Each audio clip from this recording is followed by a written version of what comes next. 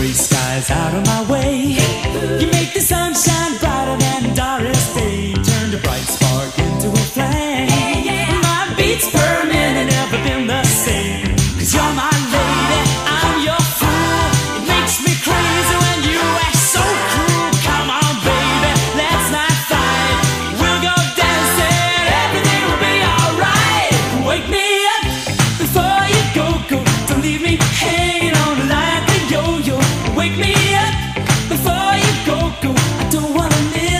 You hit that.